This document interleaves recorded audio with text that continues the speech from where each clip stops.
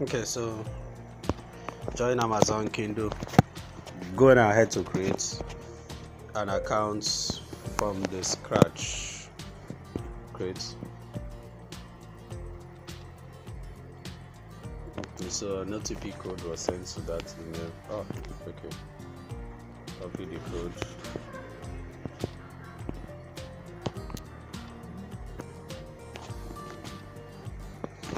that's the first step to opening a KDP account. You don't have any option, you must agree to the terms and conditions, anyways. Now, once you are done with that, the next thing is it will allow you to go ahead to start creating your book. But you cannot, if you go ahead, so you can click create to start creating your book. But besides that, you still there are certain things you need to do. Yeah, so this is what I was saying. You need to update account information. I guess you would have seen this on your page to publish a book you need to complete this. So, so we'll click update now so that we can go there. But if not besides that from here you can actually start publishing. If you click create then you can start publishing your first book. But even when you publish your first book you need there's a software that is required to format your book in, in a kdp format. They, they have a a kdp format for books but let's click update now first to see how we can update that account. You're supposed to put a phone number to verify your account. Internal error. This account actually that number is actually linked to my existing number. But basically once you pass this place you that's where you see where you put the tax information and all of that. I was trying to trying to log into my existing account. It did not it did not send otp that's why i said okay let me start with a fresh account to show you how to go about it. But this is my existing account on amazon kdp so some of the titles i have here.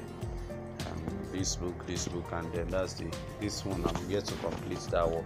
Once you put your phone number after you put your phone number it will take you to the account section you can now put all those tax information. So from that place you will you once you are done with that address verification tax information when you want to upload your book you just you come back to this place to play to, to uh, click on create.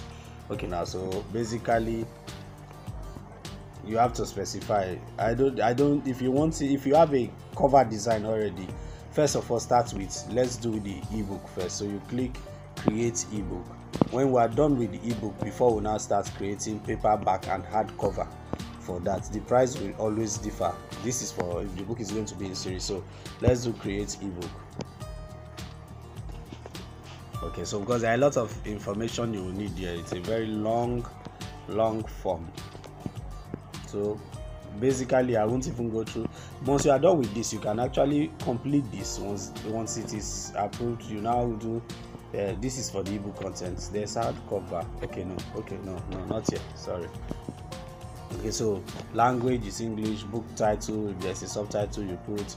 Is it a series that maybe be have another edition? If not if this first edition put edition author you put author if there are other contributors put their names here. Description. Um that's like your preface and all of that. Just put um, all the necessary details. I own the copyright to this book. So you own the copyright explicit materials yes or no you put all of that um, reading reading age age restriction you put that. Primary market is amazon.com uh, categories yes you can use this to specify the category of your book. What i would suggest is go online do amazon.com and put the title of the book. Then you will see other publishers in this same genre. The category it is so you know the category you won't fall under whether children book and all of that so you will know the category. Maybe i should even click let's see the categories that are available. And i don't want this video to be too long so. But that's it yeah, from there. Keywords keywords. What you do is do a google search of the topic. Let me even show you. Let's say the book is so that you will know the keywords to use. That will be relevant because that's what will make the book to come out during search. Let's say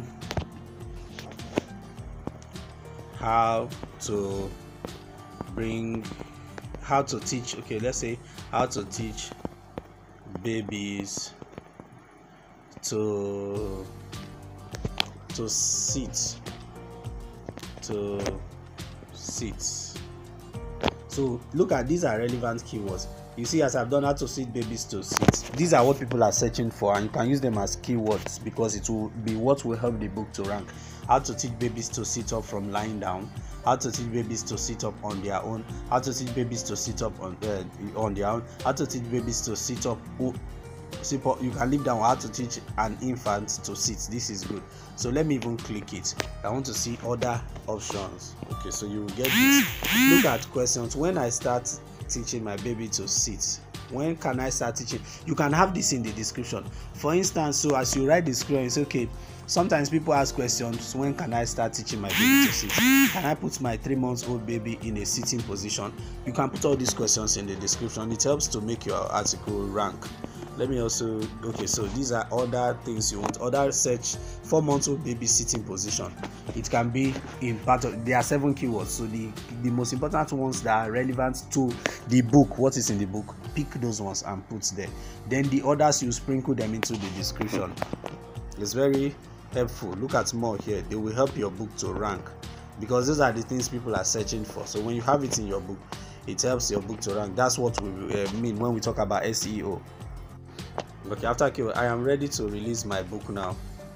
Make my kindle ebook available for pre-order that depends on you if you want to do that. So you save and you continue. I can't continue because i've not completed i've not um i didn't fill this form but you save and you continue. The next page is what will bring you to this. So we have done once we do that that's kindle ebook details. You now go to kindle ebook content. So you just is basically the information that relates to your work. You just be putting the content that's where you put uh, sorry the content that's where you will need to use that software i was talking about. So you it is in this second place where you have content. You are going to upload the cover design. It's there you're also going to upload um the inside the inside pages all of that that's where you upload them. So by the time you are done then you will now come to keybook ebook pricing. You will just see the prices there one dollar or you see the format how to do the pricing. So you put the price you want and you would have concluded that aspect. But i think at that point they will tell you at when you are on content they will tell you to download the software because you have to upload the ebook to that software so that will, you will see how it will look like in in computer how it will look like in um whether computer or any device will show you how everything will look like. So that's basically how it works for uh, uploading content to to amazon kdp okay that's that's all for now. If you have any questions you can ask. I will respond to them. Thank you. So basic thing is like i said before click that uh, your accounts the way they will say you should update it. If you see that click it. It will take you to that page for you to update it. If not if you don't see that place then click your account. It will take you there. You put your otp once you put the otp and you pass then you go and fill out the tax information. Once you are done with that then you come. I can open it because i've already done all of, all of that and i have books here so i just clicked to create uh, another book. I have three books. There one two the third one is in draft is, is still in draft so but the three of them are there. Intend doing more books by god's grace i'm going to do a video actually on amazon kdp very soon but thank you